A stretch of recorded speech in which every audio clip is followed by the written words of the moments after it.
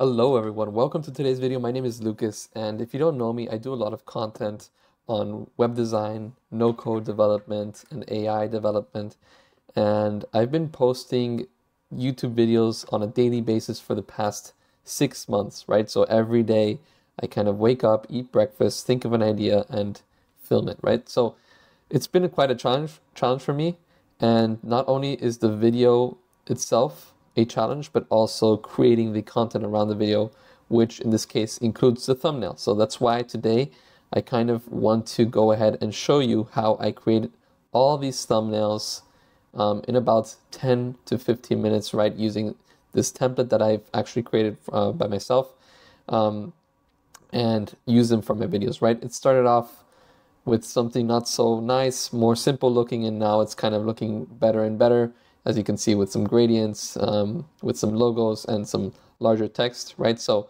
if this is something interesting for you guys, let's stick around and get started.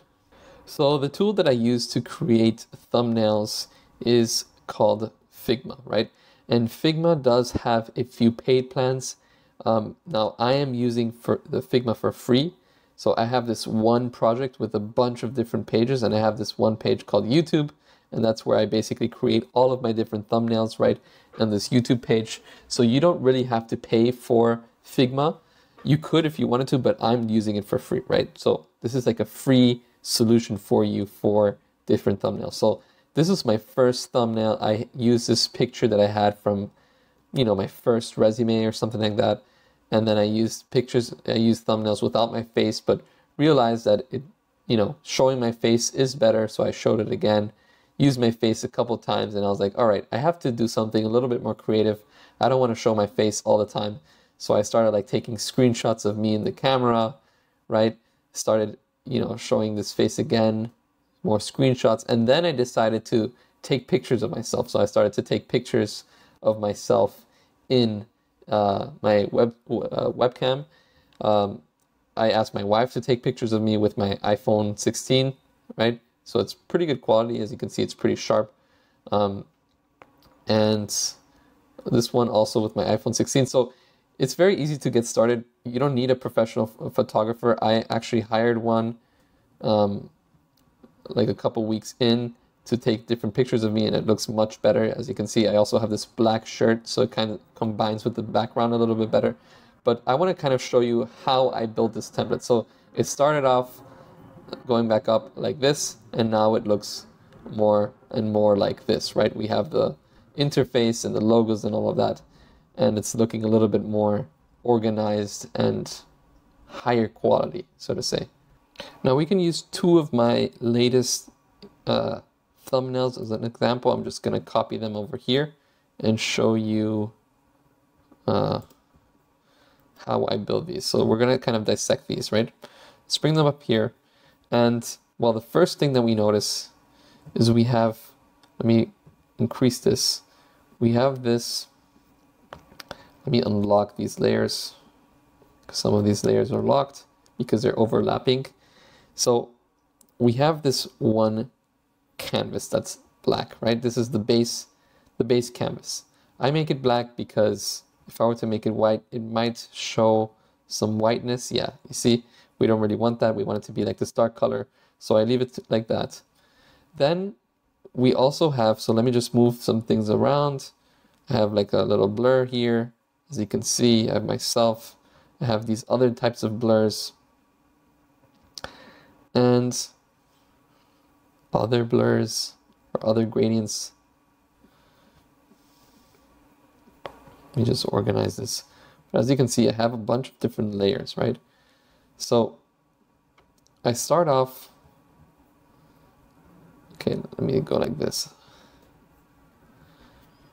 I start off by adding like this type of grid, right, that we have up here. And it's only covering like the left side. And I have another one for the right side. It's basically the same thing, but I duplicated it and put it on the right side and we have like this little grid system that I kind of like how it looks like. Um, so I put that as the base layer. I put these on top of that. So basically these are different colors, right? So I was doing, I was talking about Lovable, this tool, and these are like the Lovable colors. So I was using these colors, but you can basically change these colors. So I can make these, instead of orange, I can make this like a blue color. So switch this to, to something bluish, right? Something more like this. And you can select this and make this more, I don't know, dark blue, dark blue purple style.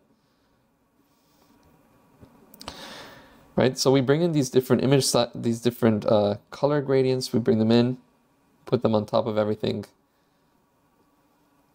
Right, so this would be like the base layer. Now, I always have an image of myself, and under my image, I put like a little gradient, uh, a, a, a, a shadow, and that's because I want there to be some shadow behind me so that it looks a little bit more re realistic. So I can add a picture like this, and if I want to switch a picture, let's say I want this one, I can just go ahead and click here and copy and paste, and let's just put this to fit. There we go, and delete the lower one. So now we have this this one fit over here, right? And we can go ahead and uh, click on command and make this a little bit closer. So we can do something like this. And now um, this would be like the kind of the first version of this. We can add more layers, like darker layers like this, so that um, the screens could kind of go behind that and fade away, right? And then we can add some of the text above that. So instead of having the text under this, so let's put this gradient like this, and below the text, we can see that this text is above and has a good, you know, contrast between the background and the foreground. And then what I like to do is I also like to add this, and I like to add this below the text. So the text is always uh, crystal clear and everything else in the background kind of blends in with the text and it's just the background, right? I also like to add some different types of, of uh, text to kind of show what different things are, right? So this one can be like a dashboard, right? You can write something like that. I don't know, whatever you want. Um, again, if there's something a little bit too dark, you can edit that out to be like this. Now for the logos, I do have a bunch of logos. So you can see I have Figma, Lovable, Framer, Journalist AI. I have a bunch of different logos, Stripe. And what I do is I just go to Google Chrome and in Chrome I just search for like Stripe logo, right? And then you can go here and you see that this is has like this this uh, square white white and gray square background. That means that it's a PNG. So you can just copy this image, bring it into Figma, paste it, right? You have this nice PNG, but maybe you don't want to have this word, word logo. You want it to be more in a circle. So you can grab this, for example, and it's also like in this PNG mode. So you can just copy this, bring them in, bring this into Figma, and boom. Now, uh, some of these things to add volume. So if I want to put this here, let's say that this is like something to do with Stripe, right? This is like some, I don't know, screen dash Stripe dashboard that you built, um, what you can do is you can add some volume. So right now it doesn't look like it's really hovering over the, the UI, but what you can do is you can select or you can apply a drop shadow. So if I press paste, you can see that it has now like this little shadow. If I go back, you see that it's there, right?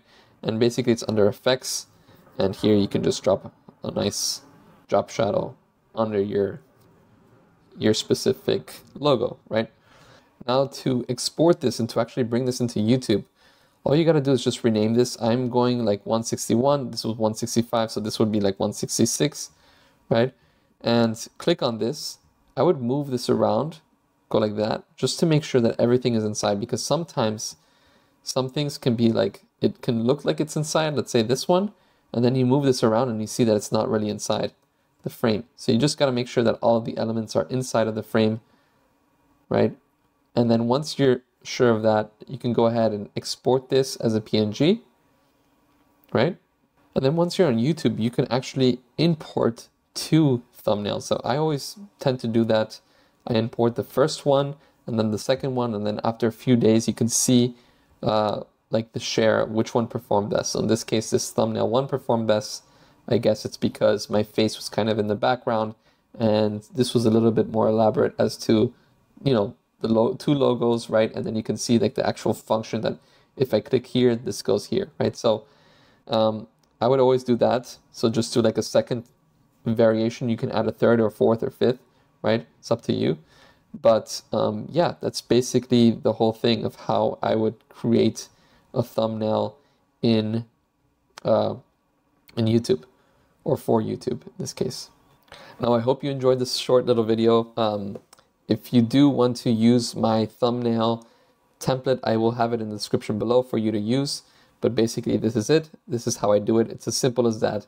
You can see all of this work that I've done over the past six months every day, just hustling and adding in a new thumbnail, right? So you can do it today. Um, I totally recommend anyone to start a YouTube channel. And if I bet, I guess if you're watching this video, you are starting already.